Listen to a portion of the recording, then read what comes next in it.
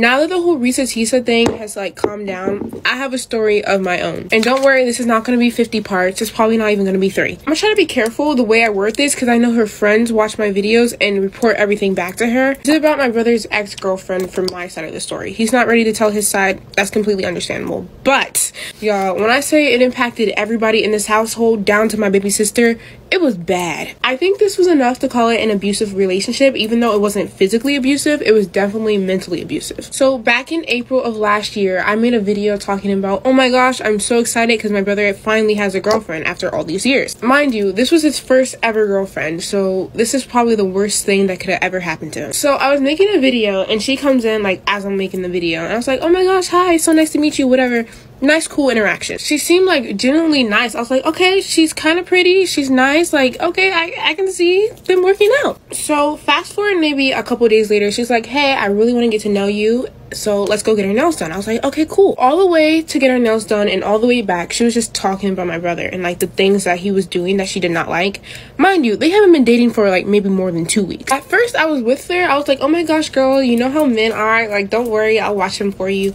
But then she started saying some like weird things. Like, one of the things she said was like, oh, he looked at another girl when he, I was like in the bathroom. I was like, okay, like, this was when I started to pick up like this girl's a little bit weird. And then she goes, "Oh my gosh, she's always talking to other girls. That's so disrespectful." And I'm looking at her like, "Are you being like for real right now or so at this point, I was feeling like, oh my gosh, I know my brother. I know he is not that type of person. He has never had a girlfriend. No way he would mess it up within the first week. So fast forward a couple weeks later, me and my brother make a TikTok and he just is in it for maybe like two seconds. The video is still up. I'll like put it to this video. I just made a little hair video, went to sleep, and I was woken up at 3 a.m. My brother is coming in looking scared. He's sweating. I was like, Tinsy, what's going on? He's like, you have to delete the video right now. Like, you, you can't, you can't post that. Why'd you post me? I was like, dude, you're literally always in my videos. What was wrong with the video? So he comes to me talking like, oh my gosh, she's saying that she's gonna hurt herself because people in the comments are calling me hot. I'm like, so at that point, I was like, okay, obviously I don't want her to herself. So I took down the, I took, I turned off the comments. I was like, I can't really take down the video because I had a sponsorship. At that point, I was not getting no sponsorships, but I did not want to take down the video because it took me forever. But then again, I did not want her to hurt herself. So I was like, you know, she's like, okay, I guess that's fine. What do you mean, I guess that's fine? Mind you, she didn't have social media because one of her exes cheated on her through social media, so she only had Instagram. So her friends were telling her these things. Like, this is why I said her friends watch my TikToks and report back to her. So at that point, I did not like her.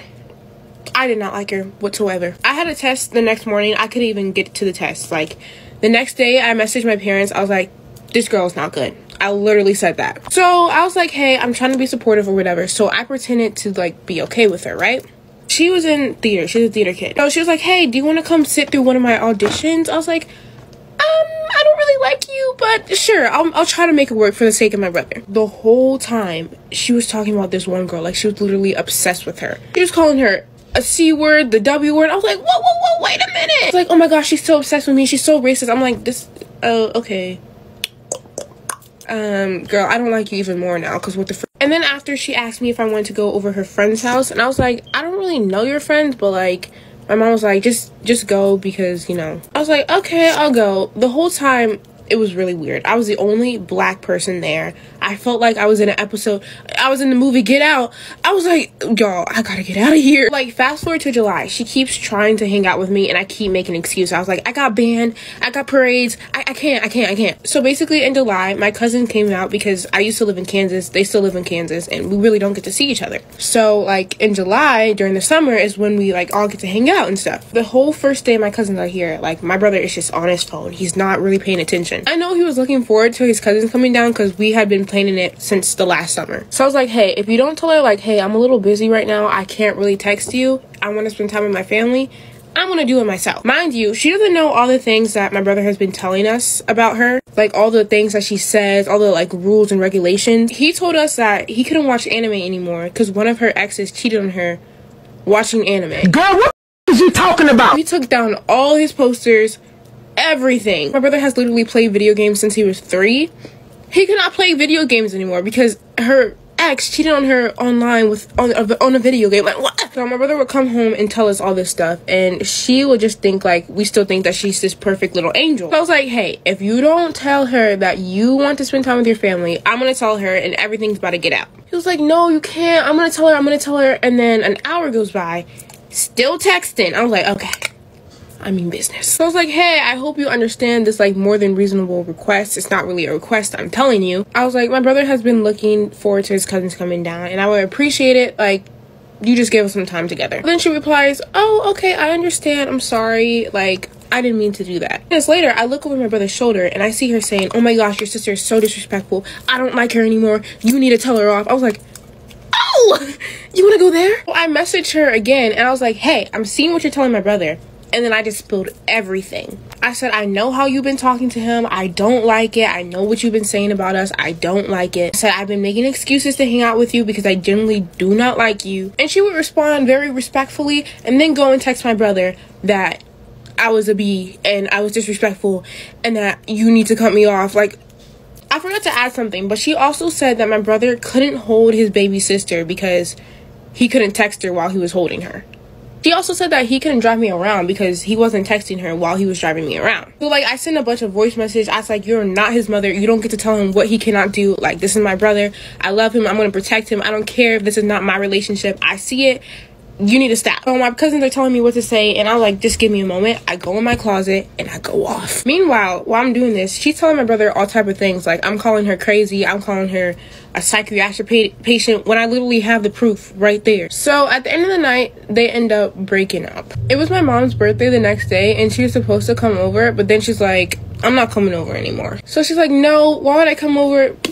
Oh my god. So I told her to come over. She's like, No, why would I come over when I know you're all gonna gang on me? Because at this point, like, my aunts were down. They were like, Ooh, what's happening? What's happening? Like, my dad was like, It's about time you told her off. Like, everybody was giving me a high five. I was like, I know. So they break up, and that should have been the end of it. Like, she wasn't a good person. Okay, goodbye. On to the next. It wasn't. A month later, they get back together, and it becomes 30 times worse. I'm gonna have to make a part two because this video is already long. This was all happening in real time. Like y'all would see me not posting or like just seem out of it because this was happening. My brother ended up moving out and stuff like that. Like, ooh, it was so bad. Um, one time I went on a date with this guy. One date with this guy, and the next day he calls me and he's like, "Hey, I just want to let you know where my head's at in this whole process." he was like, "I really like you."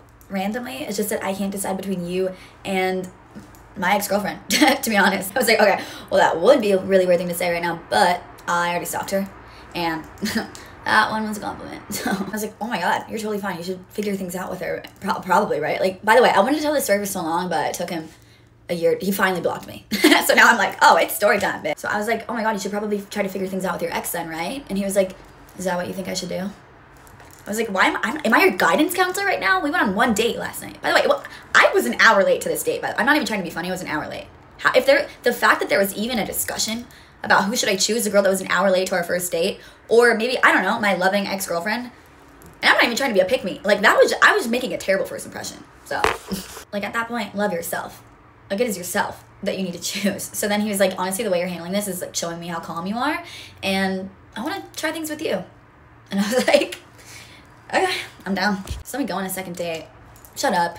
I'm sure there are things in your past you're not proud of either, right? Thank you. We're at a bar. He makes me pay for all of my own drinks. All my own drinks. So I was like, it's over. That was my last straw. So I'm staring at this man like, what is a good excuse to break up with someone? Can I break up with someone because of the drink thing? Like, because you don't buy my drinks? On the first, second date? Yes, honestly. So then I go look up his name later that night and I find a TikTok that's like, raise your hand if you've been on a date with this man first last name and I was like, thank you God, thank you God. So I sent it to him, pretend like I'm mad, obviously. And I was like, hey, it's over. It's over.